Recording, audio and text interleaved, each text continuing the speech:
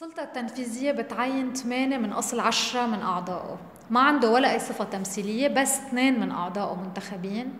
تكوينه طائفي ما فيه ولا امرأة اليوم. ما فيه أساتذة جامعيين ما فيه محامين كلهم قضاة. والدستور ما بيتضمن ولا أي نص عنه. عن أي هيئة مستقلة عم نحكي بلبنان؟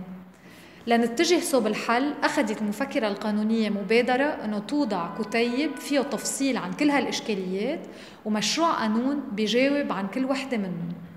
لتحصلوا على هالكتيب راسلوا المفكرة القانونية على وسائل التواصل الاجتماعي.